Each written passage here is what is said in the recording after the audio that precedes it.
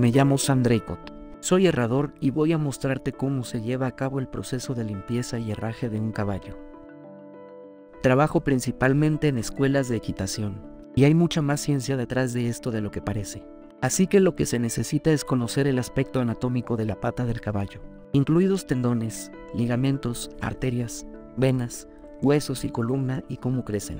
También hay que tener conocimientos de herrería para construir la herradura. Hay que conocer todo lo necesario para mantener la esperanza de vida de los caballos. En este caso, el estado actual de este casco es bastante bueno. Solo pasaron seis semanas desde su mantenimiento. Ese triángulo que está en el centro se conoce como la ranilla. Esta es conocida por ayudar al agarre y al suministro de sangre alrededor del casco. Ahora limpiaré la suela con una hoja recta. Como verás toda esta suciedad se desprenderá y entonces podré ver cuánto ha crecido la suela del caballo. Y así podré recortarla. Cuando el casco crece, luce como una uña gigante. Crece todo el tiempo, por lo que hay que recortarlo y reajustar la herradura, para que la estructura de la pata esté en el lugar correcto, ya que si el casco es demasiado largo, generará mucha tensión en los tendones. Es como si siempre usaras un par de zapatos enormes y te resultara muy difícil caminar. Así que recortar de forma regular el casco del caballo ayudará a mantener su expectativa de vida y la función de él en cualquier disciplina en la que se emplee. Mientras se saca la suela, empieza a volverse ligeramente cerosa. No se desprenderá tan fácilmente y eso es un buen indicio de que se está llegando hasta donde se debe. Y entonces se debería poder recortar ese trozo del casco sobrante y listo. Se debe recortar desde allí, y con este alicate gigante se empieza a recortar el casco de una pata para darle una forma agradable y nivelada, tan plana como se pueda. Y lo que estoy recortando es exactamente de lo que están hechas nuestras uñas del pie. Se trata de millones y millones de hebras de cabello unidas entre sí. Y tienen exactamente la misma proteína queratina que tendría una uña.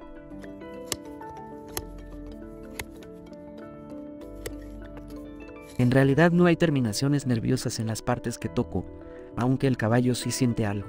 Por ejemplo, imagina que tienes un zapato puesto y alguien te toca la suela. Percibirás la sensación, pero en realidad no duele. Y los caballos sienten lo mismo. Esta lima de uñas gigante es una escofina, y se usa para hacer que el casco quede bien plano porque los caballos caminan con las uñas a diferencia de nosotros. Así que la suela debe ser plana para no afectar sus articulaciones al caminar. Porque si un lado fuera más alto que el otro, caminarían de manera desigual y habría una tensión excesiva en sus articulaciones y los tendones. Así que la suela debe estar lo más plana posible y ser casi perfecta. Si no llega a estar perfectamente plana, la herradura terminará ese trabajo por mí. Así que cada casco que hago es completamente único, porque no hay dos cascos iguales. Compro estas herraduras de fábrica y con un tamaño estándar y luego las coloco en la fragua para calentarlas y hacerlas flexibles y maleables como para adaptarlas a la medida de cada caballo. Así que el proceso comienza con obtener el tamaño adecuado para el caballo. De memoria y con mucha práctica, al recortar los cascos, se ve la forma que tienen. Tal vez sean más rectos por un lado o bastante acampanados en otro. Se presta atención a eso y automáticamente se obtiene el tamaño y la forma aproximados que se necesitarían. Y 9 de cada 10 veces se acierta. Ahora quiero asegurarme de que la herradura encaja en la base. Esto no daña el casco del caballo en absoluto. Si se mantiene la herradura ahí durante mucho tiempo, la sensación de calor subirá por la pata y el caballo lo sentirá. Pero yo diría que dejarla 5 o 6 segundos es suficiente. Y entonces esto plasmará la forma de la herradura en la base del casco. Así que al quemar la superficie queda perfectamente plana, por lo que se logra un ajuste perfecto.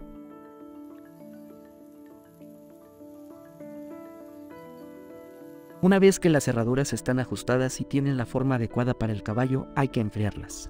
Y un cubo de agua es una buena manera de disminuir la temperatura para poder tomarlas y manipularlas con las manos.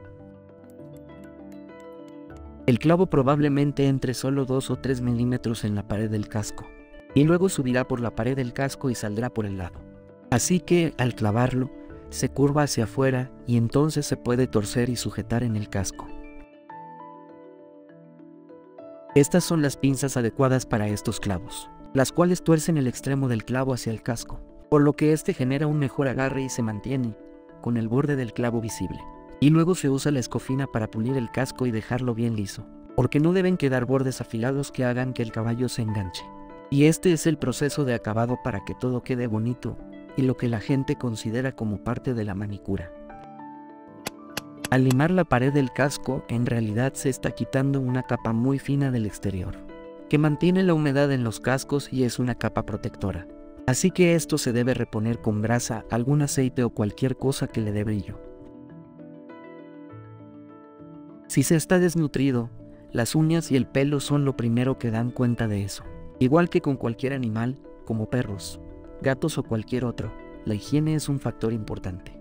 Si un caballo tiene una mala higiene porque está en un establo que no se limpia, no se mantienen los cascos, o no se recorta el casco ni se cuida, eso lo afectará como a cualquier animal.